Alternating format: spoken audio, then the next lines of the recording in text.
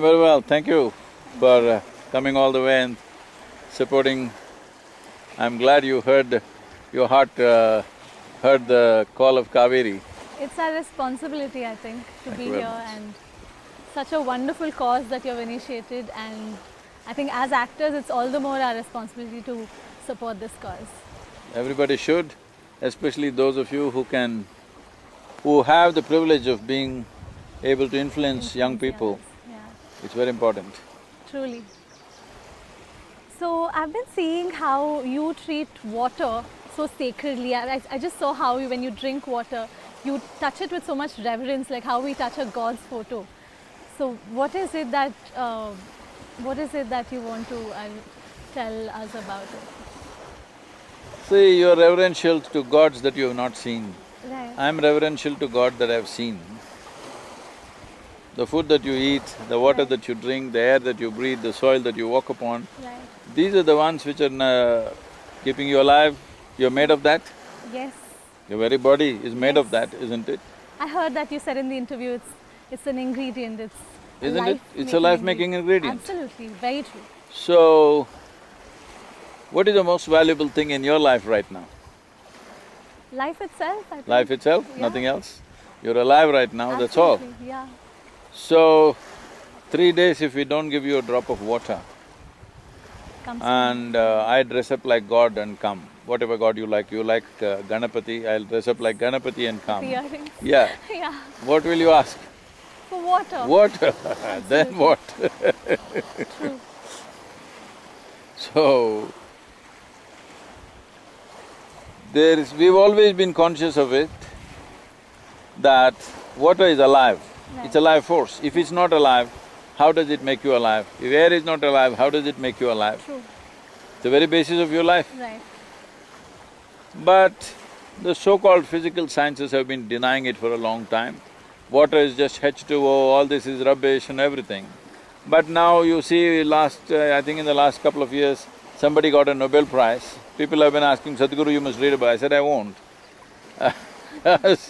We've been saying this for thousands of years. Right. But you went on saying it's rubbish. The moment somebody does something in the laboratory, we lived in the world and we observed certain things. Right. We observed what's happening within ourselves, mm-hmm. but somebody observes something in an instrument or a machine, and then they say that this is the reality, and now you give him a Nobel Prize and now you think it's true, the whole world. I don't like that because we have always known this, water is life. And we know water has memory. In South India, we store water in a certain way, we keep it in a certain kind of pot, we… people even worship the water pot. I just saw you do that. That is what really um, I thought that's that's something I we mean, need if- to teach our kids. If you have no reverence for what is source of your life, Right. who… what other things have your reverence? It's all empty reverence. Truly, truly. You're uh, reverential towards something that you've not seen, Truly. Just because somebody has taught you. No, I am reverential to all those things that matter to me, water, soil, air, food, people, Right. Of course. people, Yes. man, woman, child, animal, tree, everything. I am very reverential to all of them because I know this is what is making our life right now.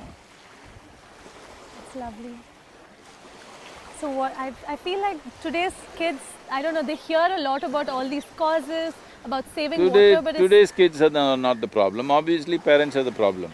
truly, yeah, the See, generation that a child does not come with any preconceived anything. Right, It is a kind of influence that they come under. right. There's… Uh, recently, I don't know if you saw a quote, I said, uh, there are no bad children, there are only bad influences. yeah, true. So what is it that, I don't know, one must teach the next generation? Of course, it's not their fault, it's all our fault that the state of water today, but what is it that they can learn and… See, the important thing is, you're alive, Yeah. that's a basic fact. Rest is all made up by you, isn't it? True, You're essentially alive. Everything else is made up in your head. right, You're mistaking psychological reality for existential reality, that's the main problem. What's happening in your mind, you think it's real. I'm sorry you're in cinema, but so I can use this example. People go sit in a cinema theater, yeah, lights off. It'll not work if lights are on. True. Lights off, then watch the cinema, get involved, enjoy the movie. When it closes, they must come out. Mm-hmm. But a whole lot of people think that's for real. Right. That's what is happening to human beings. You have a cinema theater in your mind, it's playing all kinds of badly directed movies. True. Very true. And you start thinking that is the reality. No, it is just your psychological nonsense. So your psychological drama, your thinking is existentially true. That is the basis of all these problems that we have. Mm-hmm. So today, you pray to some other god, it's your psychological stuff. Right. Depending on which culture you're born in, mm-hmm. which family you're born in, accordingly you're looking up to some god, isn't it? Everybody is looking up only. So all of them are side by side on the cloud? I'm asking. No. I mean, it's more of imagination. So, So it's your psychological, reality. Yeah. But water is existential reality. Right. If one day you don't have water to drink, it's not psychological. True. So Kaveri calling is not a psychological thing, it's existential, it's real. I've, I've been seeing your um, Save the Rivers um, campaign Rally for rivers. and Rally for Rivers and how um, now we're on to a particular river that's Kaveri. So tell us more about how you think The- Kaveri the purpose- The purpose of Rally for Rivers was to… one thing is to get the support of the citizens of this country Right. and then push for a policy change. Yeah. So we got the support of Yeah. hundred and sixty-two million people Yes, I heard. and uh, central government responded Right. and they made this, the Rally for Rivers recommendation, which is a seven hundred and sixty page policy document, Right. recommendation. They sent it as official recommendation to all the states. Wow. So policy-wise, we've done the job. Right. Now on the ground we have to do, there's one project we are doing in uh, Maharashtra, in the Vagadi river in Yavatmal. This we are doing hands-on. Government has allotted budget and hands-on we are doing along with the government agencies. But this is a different kind of project, in this there are three ingredients. There is a farmer, there is the government and the people. So we want all three engaged because all three are beneficiaries or they will suffer, both ways. Right. For the farmer, his income needs to go up, they're committing suicide in thousands. Every year, thousands are Yes, committing suicide. His income needs to go up. For this, we have a solution in the form of agroforestry. This is not an experiment with him. For last eighteen years, we have manifested this with nearly seventy thousand farmers, that their incomes have gone up three hundred to eight hundred percent in five to seven years' time. So, it is an established model, so we want him to benefit, his income should go up. But initially, there is a little bit of hesitation and first three to four years, there could be a little bit of loss. to make them understand that No, for that, we engage the government. Right. Now, we wanted a subsidy for first four years. Both the governments, Tamil Nadu and Karnataka have agreed to this. Lovely. The next thing is why the farmer is not planting trees. Earlier, all farms had trees. Now they're not planting trees because the laws are such, even if you grow a tree in your own land and if you cut it tomorrow, they'll come and arrest you. So now we want… we are lo- shooting for a law where a farmer can grow what he wants, fell it when he wants, transport it when he wants and sell it where he wants. Perfect. Like if you run an industry, you can sell it wherever you want. True. Why is it the farmer is not allowed to do it? We're yeah. just exploiting him True. to a point where they're committing suicide in lakhs. Truly. Across the country, three hundred thousand, three lakh people have committed suicide. What more disaster do you want? Are you waiting for millions or what? Absolutely. So, farmer will benefit, the government, the timber import right now is seventy thousand crores raw timber, one point two lakh crores worth of timber products we are importing from other countries. Right. If the farmer grows this, in about eight years' time, government, Tamil Nadu only we Wouldn't calculated. Tamil Nadu government will have a GST of twenty-one, twenty-nine thousand crores. Wow. So government will benefit and the people will benefit because the land is fertile, your food will be more nutritious, Right. your water pro- problems will go away because the monsoons are anyway coming, we are not able to hold it in the land. Right. If trees are there, you will hold it in the land. We are thinking of two hundred and forty-two crore trees. Right. If two hundred and forty-two crore trees are planted, approximately nine to twelve trillion liters of water will be sequestered in the land. Right. What is twelve trillion liters of water means? The entire Kaveri's flow in one year, see massive amount of water. Yeah. Entire Kaveri's flow in one year is twenty-one point two trillion liters. We are talking about 12 trillion liters of extra water going into the land.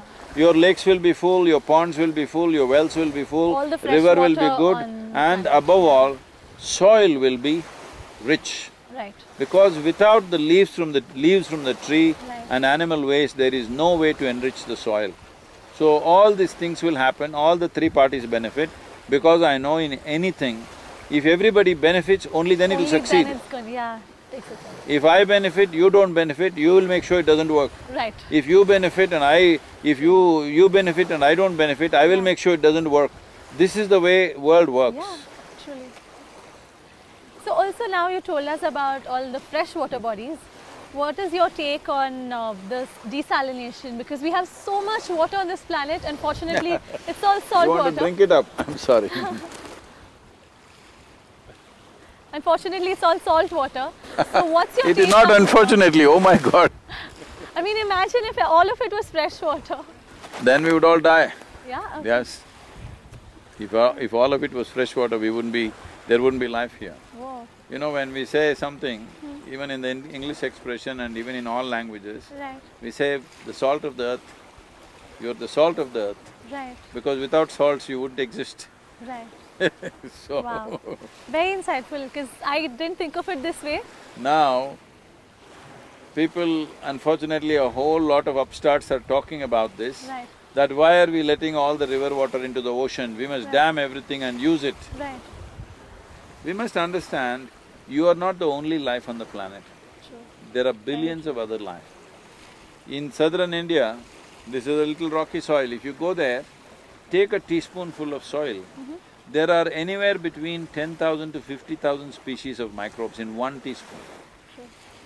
In one teaspoon, True. there are more microbes than all the people on the planet. Mm-hmm. So they also have to live, Yeah. because if you and me are gone, planet will flourish. I mean to say, True. if all human beings all are gone, yeah. uh, all the don't damage get that scared, I'm not no, no, I've seen, I've seen this video. I've, If- I've seen where how. If all of us are gone, planet will flourish. The microbes are gone, insects are gone, worms are gone, planet will not live, everything will die. Whoa.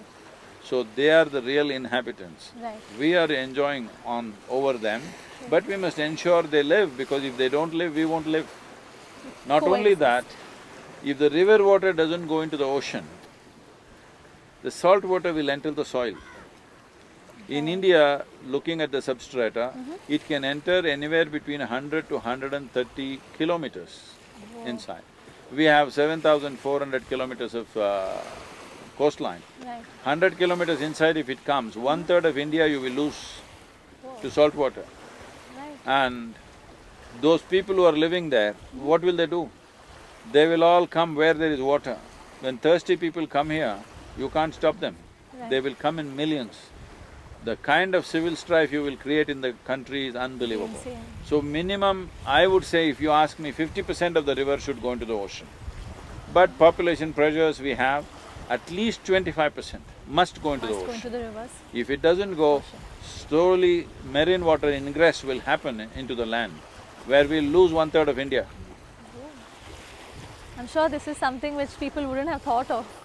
People are not thinking about anything except their next meal. Their, themselves, yeah, About absolutely. themselves. Nobody's thinking about conserving resources. And again, I, as you said, uh, this is not a resource; it's a life-making ingredient. Yes? And I think that that's a code that all of us must go by because we all consider water as a resource No, no. as if it's all meant for us, but that's not how it is, right? It's You and me will come and go. come and go Kaveri absolutely. continues to flow. forever. Wow, that's beautiful. Well said, yeah.